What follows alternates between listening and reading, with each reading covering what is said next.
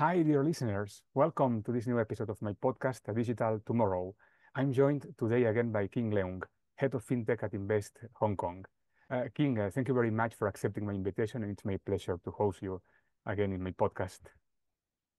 Well, it's a great pleasure. It's always nice to, uh, to chat with you, uh, Oriol. No, the pleasure is absolutely mine. It's always nice chatting with you as well, King. And I remember the last episode we did exactly one year ago in January was a very interesting one that uh, many people viewed and, and many people reach out uh, to me talking about Hong Kong, especially people who are not that familiar with uh, Hong Kong. So maybe I wanted to ask to ask you, like uh, starting from the very beginning, um, since last um, January when we talked in my podcast, what has changed in Hong Kong from a business uh, perspective? well, um, first of all, uh, my role has expanded from covering just fintech to covering the all financial services, effective uh, in the middle part of uh, last year, 2023. So now my remit uh, covers not only fintech, but financial services, which covers everything from banking to insurance to asset management, uh, you, you name it. Now, at the same time, I'm also covering the, the carbon neutrality theme related to uh, financial services and uh, fintech. So by extension, uh, that would involve things like green finance as well as uh, green fintech. So that has something to do with uh, the tracking of uh, scope three data uh, to make sure that we got enough of the te uh, technological supports to minimize greenwashing. So there's just a whole bunch of new developments that I've been covering since middle part last year. Now, but going back to your question, because of, of my kind of expanded role, essentially the one thing I've been looking at is to see how can we find the synergies between the, the so-called mainstream finance as well as the, the future finance represented by fintech and by extension digital assets in Web3. And I have to say, the one exciting thing is that when we look at just the whole world in terms of the tier one finance firms, they've also uh, shown their support and interest. So of course, I think for many of us who have been following this field, we would have noticed large firms from the BlackRock, the Fidelity, like Franklin Templeton, J.P. Morgan, Apollo. So all these, you know, all these big names, they've been uh, trying different uh, means of using the blockchain infrastructure to facilitate uh, finance. So one common area that I've seen in several occasions, again, this is all public information.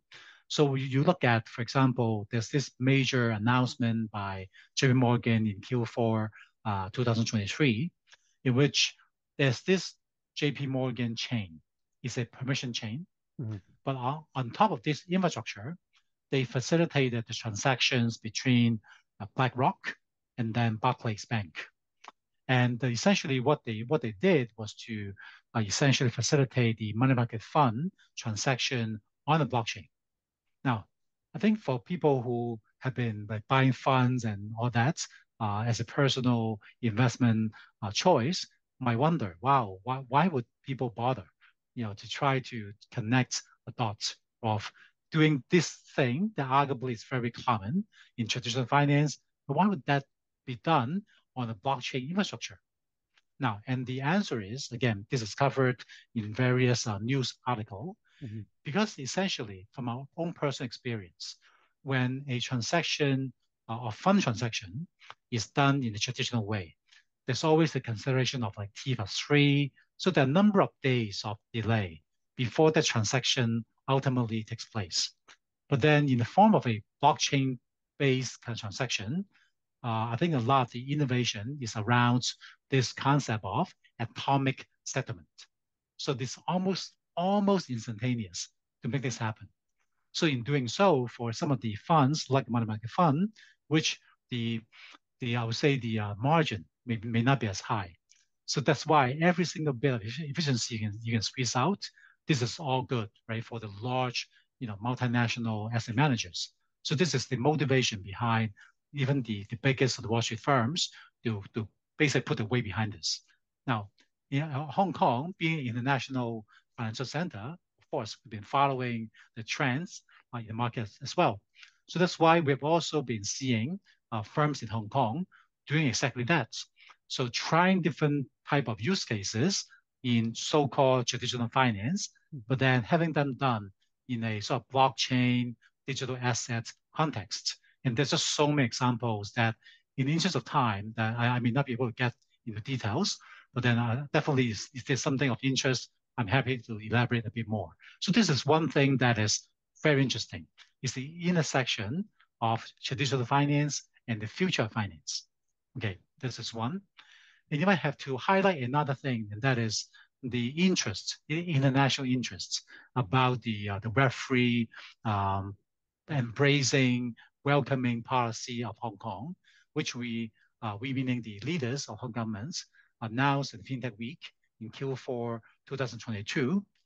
So the entire year of 2023, where we have we have seen a lot of, I would say, validation trips by people in this field again, digital assets, blockchain, crypto, and so on, flying in from all over the world. They can be from the Singapore, the Dubai, even the US, some European firms, even Latin America. So all these folks have been like flying to Hong Kong at different times to really try to talk to all the key stakeholders from the regulators, policymakers, private sector leaders, you know, the investors, VCs, and so on, to try and validate what are the opportunities uh, in Hong Kong for that. And uh, again, so we have seen so much interest. So by now, we've seen uh, quite a lot of um, not only the funds, I'm talking about the Web3 crypto funds, now uh, expanding the presence in Hong Kong or set up new presence in Hong Kong. And because of the, the capital, there are also projects you know, being landed in Hong Kong in different segments. And then uh, there are people uh, uh applying for the, the VASP license there are folks uh, eyeing on the upcoming stablecoins uh, license. Uh, that's the HMA. The Hong Kong Monetary Authority is looking at launching, hopefully, sometime this year. So there's just a lot of activities going on within a short period of time in just one year. So again, I can go on and on. So maybe I'll just pause for moments to see if uh, perhaps Oriol, whether or not there's certain uh, area that your audience would be most interested, and I'm happy to elaborate. Mm. No, I mean, I think you touched on many very interesting uh, points um, when it comes to, to what you said now about Web3 or before when you talked about green finance as well, because I know that Hong Kong is becoming a green finance and green fintech hub. Uh, but if I need to highlight one idea, maybe it would be this idea that you said about this intersection between traditional finance and uh, DeFi, decentralized finance, or or newer technologies, right? Because this year, for example, I've uh, been teaching as well in a program about blockchain and, and, financial services. And we are all experiencing the rise as well of, uh, or the, the idea of uh, generative AI becoming much more mainstream. And I think it's very interesting uh, what you've been talking about, because of course, I mean, DeFi companies are DeFi companies, traditional banks are traditional banks. But uh, I think this last year we saw, and we will be seeing uh, this coming year for sure, this kind of um, idea of uh, both areas intertwining much more. I mean, we've seen like lots of projects by major banks um, tapping into into DeFi, into using blockchain, into AI. So I think it's very interesting this trend that you that you um, highlighted uh, right now, and it's interesting to see that this is of course happening in in Hong Kong uh, as well. yes. Um, so perhaps I can touch on a few things you just mentioned. Uh, first of all, Hong Kong is not just about blockchain. It's just one example I just gave. Mm, and just now, since you talk about uh, AI, perhaps I can comment uh, a little bit on this. Now, so that there's a, also a lot of things happening in this in this area. From so, for example, there's this one uh, major insurer uh, in Hong Kong. I mean, it's a multinational uh, global leader. I won't name, I won't name name, but then they've been experimenting um, the usage of AI in, uh, throughout the different aspects of the businesses.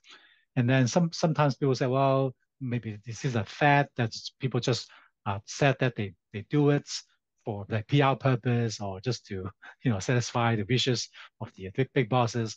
But actually, from what I understand, just from talking in more depth uh, with this uh, uh, leader uh, of this major insurer, actually they have done over 100 of uh, AI projects of different use cases in last year alone.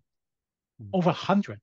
it's, it's, it's, amazing, right? They've been yes, yes, yes. doing all sort of experimentation. Now, and people may ask, well, what would that be, right? So let me just give you one example. Now, so naturally, as uh, we recognize in many parts of the world, um, yes, we are going through this whole digitization of insurance, but still, oftentimes the, the old saying is insurance is always sold, not bought. So that's why you still need the agents to sell insurance and to service the clients. Now, and naturally, now that the, the whole world has been looking at a lot of, I would say, um, compliance uh, requirements to make sure that the products are not being sold and the different uh, regulatory requirements that the insurers, the banks have comply. So you can imagine as an agent, it's a daunting task, right? So not only would the agents have to remember the product features of various insurance slash investment products, but at the same time, they also have to remember if I have to do claims for my clients, what kind of process I have to go through. And not only that, they have to remember all these compliance guidelines and whatnot. You can just imagine, right? It's a daunting task to have to sort of uh, cover such a broad base. So interestingly, this insurance leader told me in, in his firm, they have tally where they have over 10,000 documents, 10,000 documents, okay, that the agents have to somehow uh, know where to access to do their job on an ongoing basis. Who can possibly remember where to find those 10,000 documents? Too much. So this is where this is where the AI comes in. Okay. Now, so as a result, uh, so again, there are all these practical usage of AI, Gen AI, that uh, a lot of times um, I think we kind of take things for granted. But now that you illustrate it that way, most people can relate it right away. Okay. So this is exactly where uh, we are now seeing quite a lot of uh, experimentation and innovation of uh, Gen AI or AI in general uh, across Hong Kong in the financial sector. So this is one. Now, and secondly, when people say, oh, you know, a lot, a lot of the innovation happened in uh, just in the US. So what have Asia been doing, right? The whole Asian market been doing. Now, and interestingly, I think for, for, for your audience who may not be familiar with this name, there's this uh, gentleman, his name is Dr. Li Kai-fu. Mm. So uh, he used to be like, you know, the senior leader of Google in China. I believe he was the president. And prior to that, I think he was with Microsoft and so on. So, but after he left Google, he actually set up his own investment firm. And the one thing that has really captured the international media attention uh, is his new venture called Zero One AI. Mm-hmm. No, Zero One AI. Okay. Now, and why why would the international media just going like wow, this like wow wow impacts, and that's because this company Zero uh, Zero One dot AI, they have achieved unicorn status in just eight months since inception. Eight months. Yeah, it's remarkable. And, and we, it's, it's incredible. This yes, is based in Hong Kong, by the way.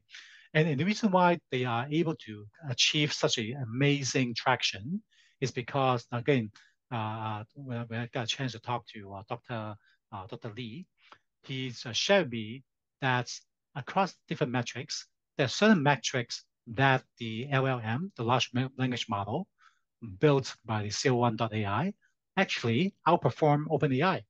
Now, of course, I haven't got a chance to really talk to the, the tech, the uh, community to do the validation on the data and all that. But now, but that, that that's amazing. That's an amazing accomplishment if, if, if that's true, right? In terms of all these, you know, technical benchmarking. Eight months, now they're unicorn. So, so this is something that is uh, also very exciting uh, developments uh, in Hong Kong, where we are also trying to share this great news to the broader business community. No, I think it's all very interesting. And Innovation-wise, um, I mean, I agree with you. I think Asia is very advanced. Uh, I recently myself published uh, a couple of weeks ago an article in the South China Morning Post about China's AI industry, in which basically, I mean, based on on data and and facts, I mentioned that China would become an AI world leader by 2030. Because if you look at the amount, not only like of the whole industry, how much movie, how much money it moves, but also uh, when you look at the amount of um, uh, language learning programs um, created in China, if you look at what Chinese companies are doing, if you look, for example, at how much data there is available for these companies because of how many people in China own a cell phone. When you look at all that, you realize that there's a huge potential in there. And uh, related to Hong Kong, then I think that the, ecosystem in Hong Kong is, is thriving in general, not, not just when it comes to AI, but in general to, to startups. I was reading yesterday, I think it was, that um, um, Cyberport had its, I think it was ninth unicorn. Uh, this press release uh, talked about HashKey Group, but I mean, it's not just about this group. It's in general that uh, not just Cyberport, no, Hong Kong in general is launching new startups, new unicorns. This example that you mentioned now. So I think everything is going in the right uh, path. And, and related to that, I wanted to ask you um, about your outlooks for this coming year, for 2024, or even in the future, right? When it comes not just to fintech, but in general to, to the financial services industry in Hong Kong, to the startup community, whatever you want to share about uh, how you think the future will look like for Hong Kong this year or the coming years. Sure. well, uh, first of all, we have uh, seen enormous momentum uh, across, you know, the Web3, the fintech, you know, all these like new emerging areas. We have seen uh, quite a lot of uh, strong momentum last year. And obviously this year we're going to double down to just accelerate.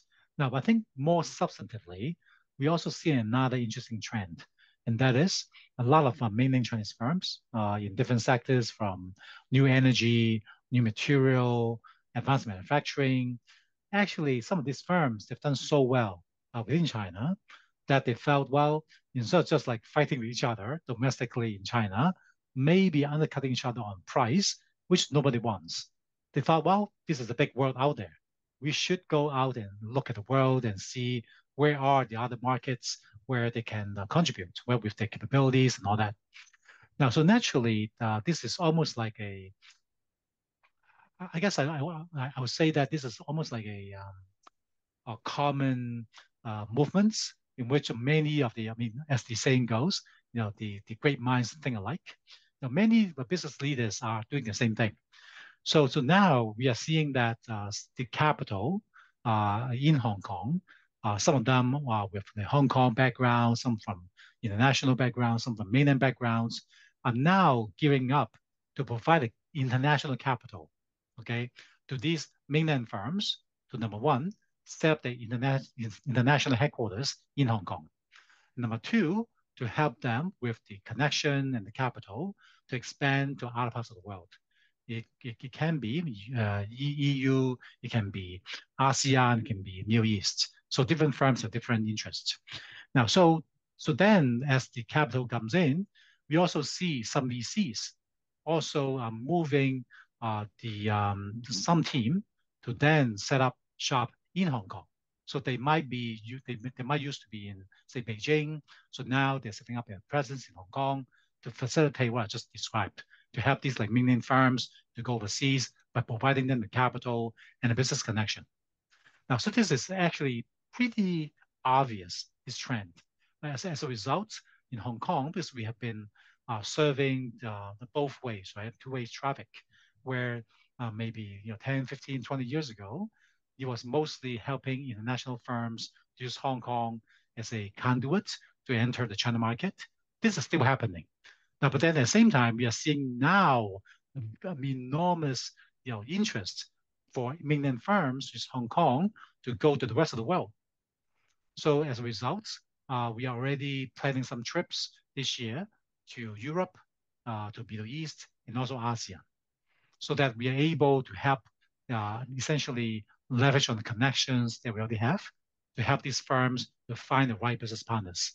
Because I think for, for those people who have been following what's happening, like yourself in Hong Kong, you would notice that last year, 2023, the Hong Kong government leaders, you know, from our chief executive to our financial secretary to a lot of the ministers, they've been traveling around the world and in many ways, they've been working tirelessly to lay the foundation.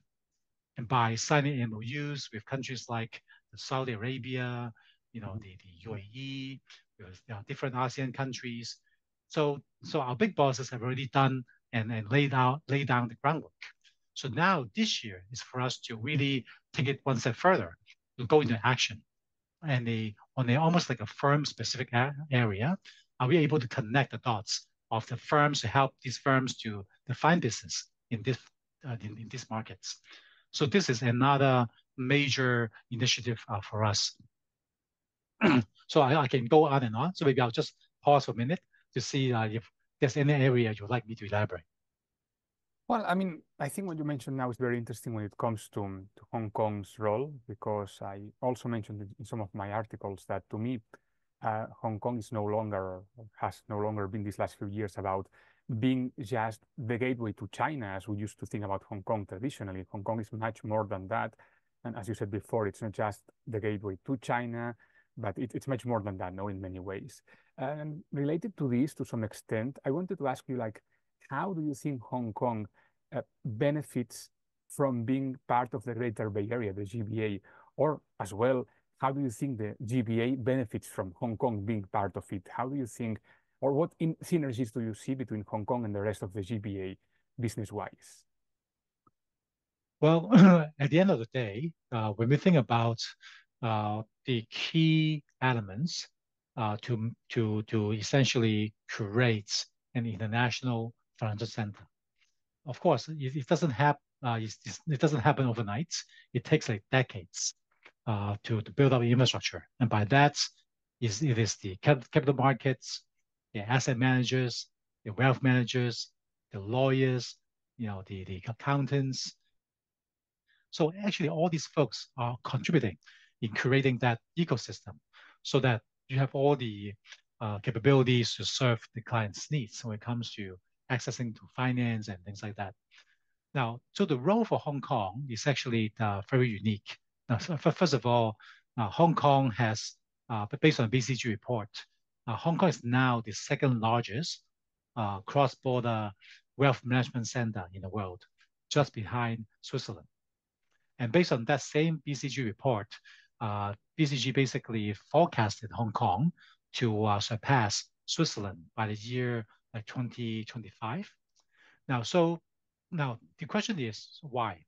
Now, because uh, actually in another study, we also have seen, um, in a study by another consulting firm, we also have seen um, that, uh, I guess, uh, pretty, you know, uh, decent percentage uh, of the, um, the mainland firms, they are also trying to use Hong Kong as a base to tap into like international capital, uh, to also help their firms, as I just mentioned, to go overseas. So this is very clear. Now, so as a result, you can you can you can you can visualize there's just a lot of capital coming through. Now, but then yes, it's not just capital. There are also the nuts and bolts, uh, such as okay, you want to set up a tax efficient entity, right, to facilitate this kind of like asset management. While in Hong Kong, there, there are different vehicles like the LPF, limited uh, partnership fund, there's the OFC. So these, these are the super tax efficient vehicle that based on the feedback that we got uh, from a pretty well-known law firm and also a well-known um, uh, big four firm on the tax side, actually the the ease the, the ease and also the cost is so good, even better than Cayman which is again, Cayman has been the traditional go-to go-to uh, market to set up a, an entity to, to do asset management, for example.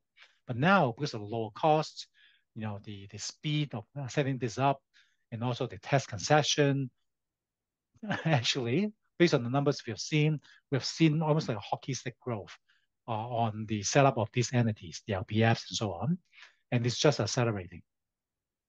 Now, on top of that, the Hong Kong government uh, has uh, it has also announced a new what we call the CIES, and it is essentially like a investment uh, uh, migration scheme for folks to uh, invest in Hong Kong to establish, uh, let's say, like a residency, for example. Mm-hmm. Now, so actually, uh, this has already attracted so much attention, and and that scheme is not even launched yet. So hopefully, they'll be launched sometime this year. Now, so why would that be relevant? Because when we have this kind of investment uh, scheme, we reach the threshold based on the public information shared by the, now it's, it's not responsible uh, and handled by my team. It's handled by another team at Invest Hong Kong. So essentially, uh, there's a certain threshold. So let's just, let's just say 30 million US is a threshold for like a family office or like a high net worth uh, individual that would like to, for example, uh, you know, uh, establish a, a presence in Hong Kong via the scheme. So actually, the 30 million US, they have to invest into something. Uh, but that can, but that can be, uh, let's say, a fund in Hong Kong that can act that can access to an index fund of Europe, tracking the European market as a whole. This is okay too. So this is a very flexible scheme based on what has been shared with the uh, media so far. And then the, the also a certain percentage of that scheme also uh, ask the, um, the that asset owner to invest into the innovation technology sector. Now, again, I don't want to go into a lot of details because uh, I think the details have not been announced yet. But the point I'm trying to get to, because of that kind of policy, we, we envision that there will be more capital from different parts of the world coming to Hong Kong. And then they need a vehicle. And then we have the LPF, which is very easy to set up. And once you set it up, then they have to put the money to work. And this is where I think the asset managers uh, can come into play. And uh, for some of the uh, high net worth, maybe they need help, the support from the wealth managers. So this is where the you know, the private banks, the wealth managers can come in to offer the professional uh, service to uh, provide them the guidance on portfolio uh, allocation and things like that. And then you may want to set up a trust. And this is where I think some of the other professionals come in. So essentially, when you look at the size of the Hong Kong financial services and also the um, professional services market, we're talking about something like 200,000 people in Hong Kong doing all these activities. So that depth of professionals that are accustomed to and very savvy with the international standard is something that's so unique uh, in, in, the GBA. So therefore, for the mainland uh, GBA firms or individuals, high net worth firm offices, they would like to do what I just described. Hong Kong is a great place to offer all the different services to them in a super efficient way. Mm -hmm. Well, actually, I wanted to ask you now, but I think it's quite related to what you said now. I wanted to ask you, why should an investor, or any company willing to to do business, choose Hong Kong over other jurisdictions? I mean, leaving aside the fact that Hong Kong is the gateway to China, no, but leaving aside mainland China um, being there, right? I mean, in general, why would you say that uh, Hong Kong should be um, chosen as a destination for an investor? I know you already told me part of that now, but if, I, if you have any further ideas about that. Sure. Well, I, well, th there are so many reasons, but let me just, in the interest of time, let me just highlight three. Now, first of all, when an investor go to a, a, a place uh, to invest, uh, what do they care the most? Well, they care a lot about the breadth and depth of investment opportunities right? If you go to, uh, I'm just saying, let's say you go to North Pole, right? Even if it's like 0% tax, you won't go there, right? No. There's nothing to invest. Nothing. So number one, you have to have the breadth and depth of investment products, which Hong Kong has a lot to offer. So that's one. Now, and secondly, you want to go to a place in which the tax is efficient, right? So just now I mentioned the LPF and all the structure. Essentially, uh, with some tax planning too is super low tax, if at all. There's certain tax concession. So it's a super tax efficient area where for the asset managers invest and so on, particularly I think if the investment return is not that great in a down market, so every bit of cost you can save is actually very meaningful to your bottom line. So, so this is not something we can take for granted easily. Second, tax, tax, tax and cost efficiency. And three, uh, we're talking about simply just how quickly things get done. Okay, mm -hmm. so if you go to come to Hong Kong, because again, this is something that uh, sometimes people laugh at, in which uh, the Hong Kong the professionals work around the clock. So sometimes they may not uh, they may not have a very good work-life balance during the week. So that's why sometimes they have to you know take a vacation to Maldives and so on. Now, so uh, uh, during during long vacation. So the reason I mentioned this is because we've talked to so many uh, investors around the world, and you go to look at Hong Kong efficiency. This is like world class. You you, you have a certain request, but you can get it done in days, maybe like weeks versus like you know months in some other jurisdictions. And this is something that is, is hard for me to to to to talk too much. But then if you do ask around people that have been doing businesses in finance and so on in Hong Kong and other jurisdictions, they will tell you exactly the same thing. That it's super efficient to get things done in Hong Kong. Mm-hmm. No, no, I, I can vouch for that myself as, as someone who used to to live and work in Hong Kong. I mean, I wasn't like properly investing there, but still you can feel that the whole business environment is very flexible and, and much faster and more efficient than in many other uh, places for sure.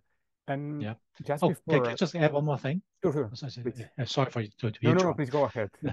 yeah, well, um, not just now I talk about the business aspects, mm. but then at the same time I have to also recognize that we are all humans we can't just talk about businesses without considering the, the social, the personal aspects.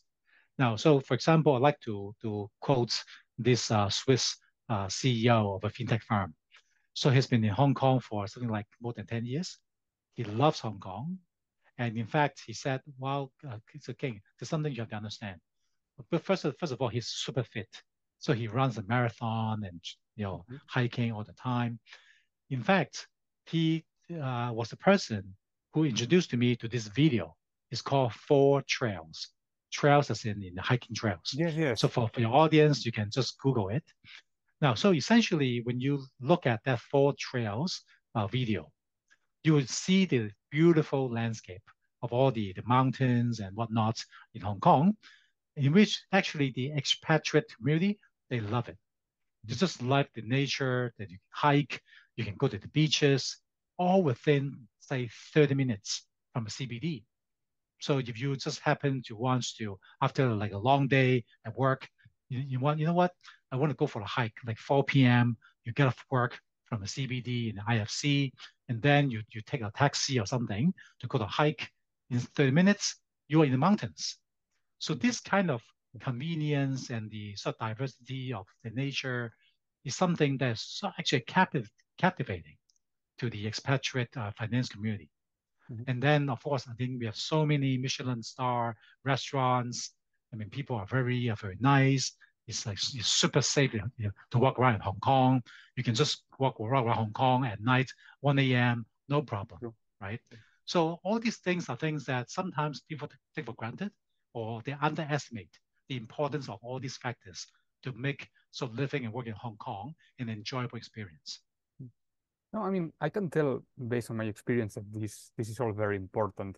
I actually know that uh, many people start like uh, liking or getting in love with Hong Kong um, after business, right? I mean, they start doing business with Hong Kong and then they get to know Hong Kong. In my case, it was the opposite. No, I, I came to Hong Kong as a tourist like back in 2008 when I was starting uh, to study in university.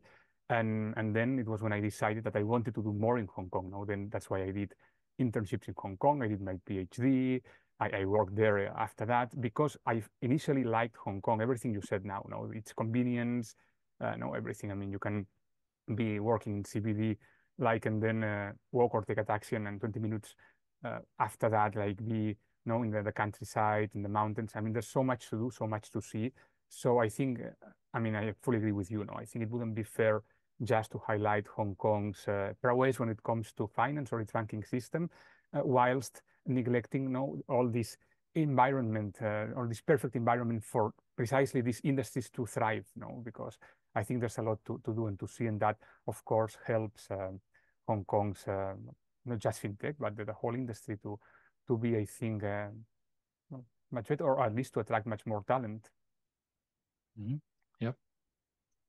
And well, um, just before wrapping this up, we're running out of time, but if you could, like, uh, in, in like uh, in one minute or so, let me know, please, uh, some examples of international cooperation with Hong Kong in the fintech or in general financial industry, because we saw this last year, many MOUs being signed by, as you said, no, the chief executive or, the finance uh, chief um, in, in Saudi Arabia, Middle East, in many places. So what are, according to you, the main um, cooper international cooperation projects in either fintech or finance in general that Hong Kong has been engaged with? Well, um, there are just uh, so many that uh, sometimes I, I, I, lose track, and I don't want to just um, offend anyone if I just single out one. But I guess maybe I can ask you a question in a different way. Uh, so why would these uh, firms, where that where, where that they, they were from, uh, the U.S. or you know maybe Europe, you know Singapore and so on, there's there's a few things in common about uh, why they came to Hong Kong and uh, and the businesses they've been uh, doing uh, successfully. Now, first of all, when they came to Hong Kong, the one thing in common is that, particularly if they're doing B2B, B2B the fintech, so naturally you want to sell to the major financial institutions, mm-hmm. right? Be it the banks, the insurers, asset managers, and so on. Um, if we were to talk about the um, international firms set up in Hong Kong and uh, have they done so far. Mm-hmm. So let me use uh, uh, perhaps one one company. I, I won't name name, uh, but then um, this is a, a good example to illustrate uh, why the you know companies like fintech and so on would choose Hong Kong. Now, first of all, the, this company that I'm about to describe uh, is from the US originally. Mm-hmm. So what they do is a platform that offer uh, different alternative asset funds. And in fact, they have aggregated uh, the, the alternative asset funds from all the major asset managers, all the big names you can think of. Now, and uh, naturally, if you have platform like this, this is a great way for this sort of you know capability to be offered to the wealth managers, to the banks, to even the family offices. And the reason being, when you look at the uh, international trends, uh, more and more um, investors from, you know, again, high net worth family offices, institutional, even pension funds are now allocating a big percentage of their total worth into alternative assets. But then, but since there's so many out there, you have to find them one by one, through talking different companies, the efficiency is very low. Now, but this US company, they thought, well, because Hong Kong being IFC, it's going to be much easier and, and efficient for them to access many potential clients. So then they decided to set up shop in Hong Kong. And since then, they've been reaching out to, you know, again, the, the Chinese, you know, FIs and, and different potential clients. And so they're now expanding their footprints, mainly because there's just a lot of capital in Hong Kong waiting to be deployed to the high quality uh, products. And having a platform like this would allow them to connect the high quality products with the capital. So this is why people come to Hong Kong. And this is a very good example.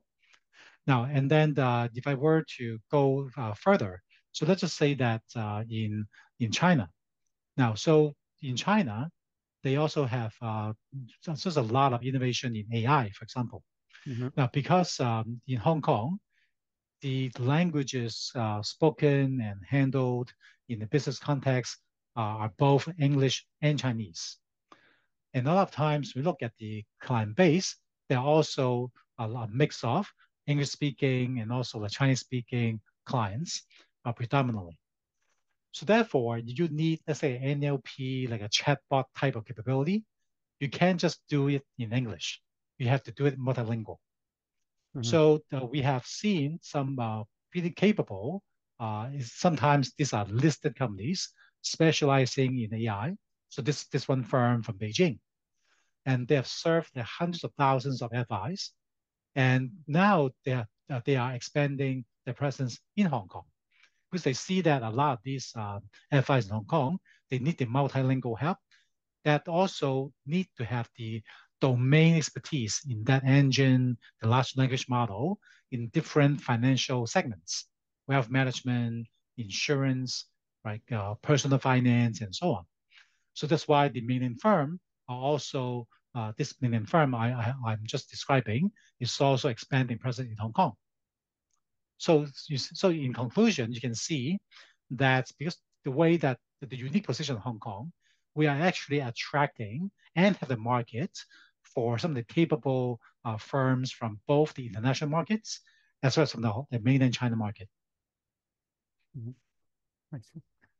No, I mean, thank you very much for for sharing this, King. And well, I mean, unfortunately, we'll need to wrap up our episode. Um, it's unless you want to make some some more remarks, of course, uh, about uh, any of the topics we discussed.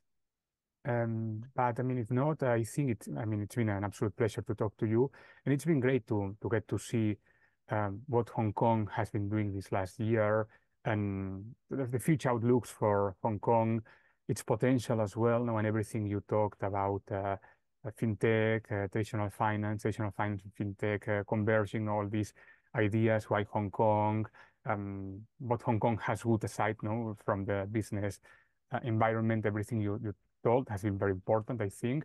And I'm sure that uh, my listeners will appreciate that very much, especially, I guess, those listeners who may not be uh, so aware uh, of Hong Kong, uh, because um, I think that uh, you need to have been in Hong Kong to fully grasp what you're talking about, right? so I think it's going to be very helpful for, for everyone to listen to this episode. And well, congratulations on all the work you do at Invest Hong Kong um, to, to promote Hong Kong and its uh, and its potential now because I think uh, there's there's a lot to do there. Yeah, well, I guess as a sort of final thought uh, for your audience, sure. uh, there's just a lot of things happening, and to keep track, I suggest the audience to number one, uh, go to the LinkedIn LinkedIn page of ours. Is uh, you, you can just easily search us uh, under the keyword FinTech HK, one word, FinTech HK. And then you'll find our LinkedIn page where we post uh, all the events and major uh, happenings uh, in Hong Kong. And secondly, there are different uh, events throughout the year, but particularly in March, April, as well as uh, October and November, these two cluster, we have a lot of the mega impact events in March, April, and also October, November. So including the FinTech Week yeah, on the 28th and 29th of October. So, uh, so again, you can uh, find information about these events from the FinTech HK LinkedIn page. So uh, we encourage you to join us either online or physically uh, come and join us in Hong Kong as well. And be, we'll be more than happy to, uh, to serve you and also connect you with some of the local stakeholders uh, when your audience come to Hong Kong to visit us. Well, actually, we didn't have time to discuss the Hong Kong uh, FinTech Week, so we can do this in another occasion, but it's a very important event uh, to which I encourage all uh, my listeners to, to participate either physically or virtually, because I'm sure they will learn a lot, not just about FinTech in Hong Kong and, or China, but about FinTech trends in general. And I'm going to be adding all those links uh, here below on the screen uh, so they can um, check all these uh, websites and, and LinkedIn pages that you just uh, mentioned, because I'm sure that out there, there are like many interested people, uh, both in Europe, uh, US, uh, other parts of Asia, interested in, in Hong Kong, who, who might be, of course, potentially, uh, well, interested in, in learning more about how to invest there or starting business there. So I think uh, this episode and these links will be very helpful to them. Great. So, um, all right. Thank you very much, King, for, for your time. I know you're very busy, so I appreciate uh, you taking the time to come here uh, very much. It's an absolute pleasure to talk to you and well, to all my listeners, thank you very much for listening to this episode. And you know, if you have any further questions, feel free to further uh, reach out either to me or to King. Great. So th thanks for having, having me. And uh, it's a great pleasure to always uh, talk and uh, share more information with your audience. The pleasure is mine. And well, Thank you very much, all of you. See you in the next episode. Okay. Okay. Thank you.